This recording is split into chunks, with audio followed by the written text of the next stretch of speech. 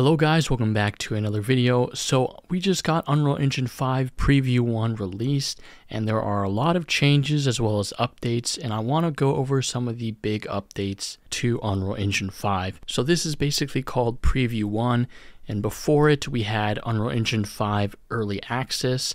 So as you can see, we're getting closer and closer to the official release of the shipping build of Unreal Engine 5. Here we are actually in the editor itself. There are quite a bit of UI changes that I want to go over, but more importantly, what you see here in the viewport is they've changed and also uh, modernized some of the game templates, such as this one, the third person template.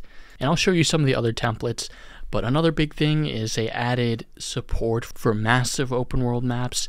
And in fact, if you go to File, New Level, uh, they've added a new open world template map.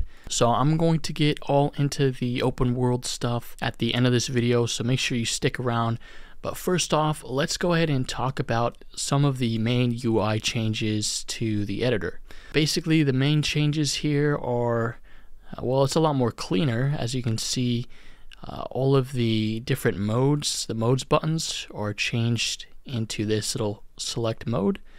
So you can toggle between, you know, your landscape mode, modeling mode, chaos, fracturing editor, and so on. And then your create button was uh, moved from down here to up here.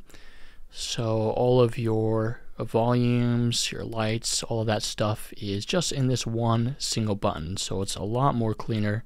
And also the play button is right here instead of having it over here and it's a lot better especially if you have Unreal Engine on like a smaller monitor or a laptop display I'd find that you know having all of the menu buttons here on this one single bar uh, would push the play button off screen. Now we still have the content drawer here. There hasn't been a whole ton of changes to that but one of the biggest changes here is if you open up Quixel Bridge it's right here under this cube plus button here.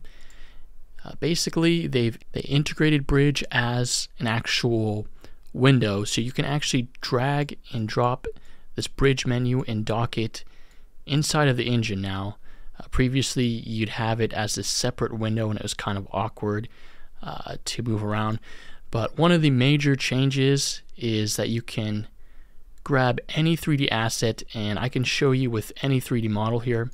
For this rock, for example, you can just drag it into your level and it will instantly uh, download basically the mesh into your game. So you don't have to wait for it to download first and then click a plus button to add it into your game. What they mention is that you can drag it into the game and it uses basically a temporary me placement mesh. While it's actually downloading the mesh in the background, you'll get this uh, temporary placement mesh so you can move it around your level and while it's downloading it will update the mesh and basically replace it with the finished downloaded model. So this is just a really fast way to uh, get assets into your game. I mean it's really as simple as drag and drop now. Uh, but yeah, those are the major changes to Quixel Bridge. Really nice that they've added this as a dockable window so you could dock it here on the side as well. And I'll probably keep my window here. I think this is probably a good location for that. But in other updates, uh, we do have this third person blueprint template that I want to show you guys some of the changes to the actual template. Uh, they also modified the first person blueprint template and the top down template. So I'll show that here in a second. But first off, we have the third person character. So they've uh, obviously added this new map. It looks a lot more modern and it also has the lumen lighting and volumetric clouds. Uh, but you can see these cubes so we can kind of just move these around and these things have physics. One of the things that they updated here in the character is actually the blueprint the animation blueprint. And I've actually dug into the animation blueprint a little bit and they've changed the way they have it all set up but it, it basically performs the exact same. Now all of these new template levels are pretty neat because you can actually modify the geometry inside of the template levels using this new grid based blocking system. So if you change the select mode here to modeling and under the poly model tab here on the left, you click the cube grid modeling and basically this will allow you to select any of the cubes that you see here in the level just by dragging selecting. And if you press E, you can raise some of these blocks out and basically you can block out your level pretty quickly.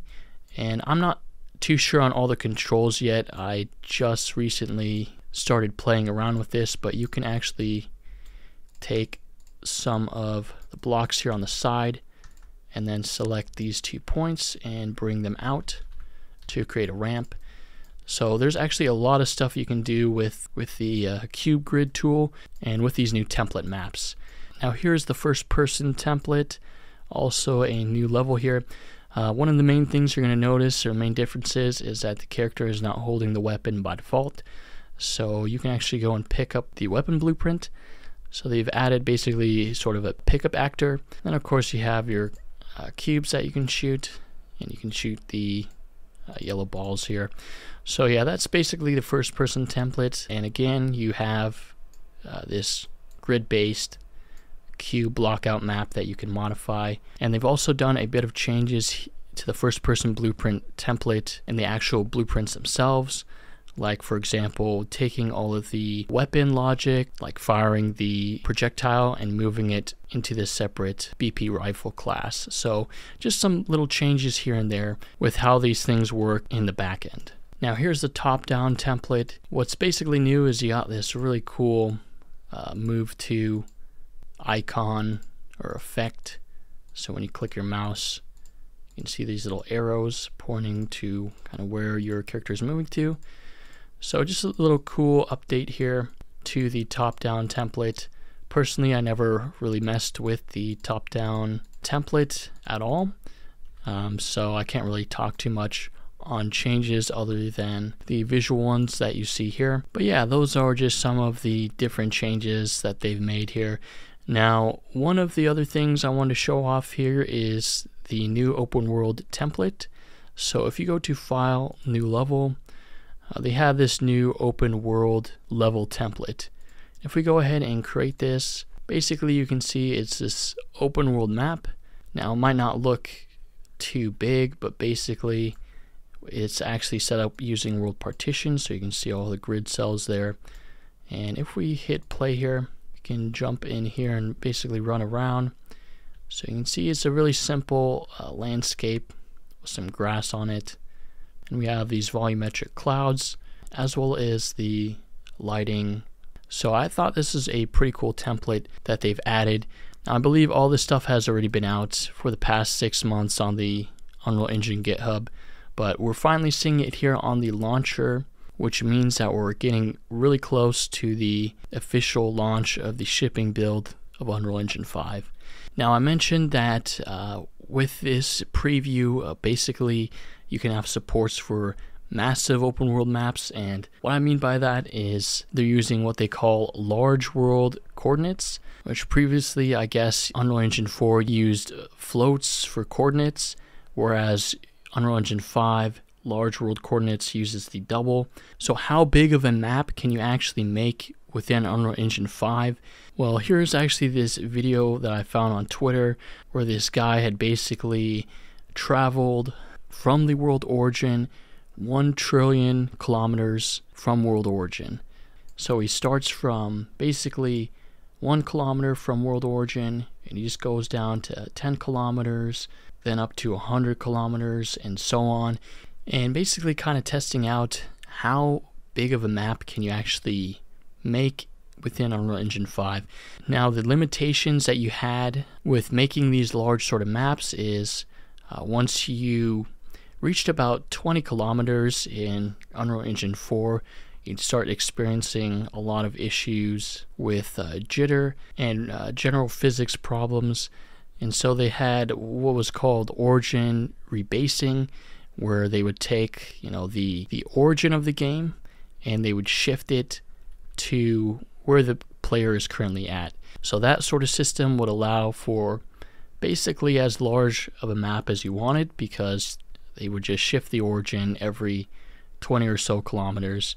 Now, with World Partition, I haven't really uh, dug too in depth about the details of uh, how it works, if it does use the same uh, origin rebasing technology. But so far, Unreal Engine 5 is looking very promising for making open world games. And personally, I'm really excited to try and test out uh, creating some large maps as well as uh, personally testing out some of the landscape features, seeing if they added anything new to that. But yeah, that was pretty much it. Uh, those are basically all of the things that that kind of stood out to me. There are a bunch of other features and things that they've added to the engine, and they have the full list up on their website.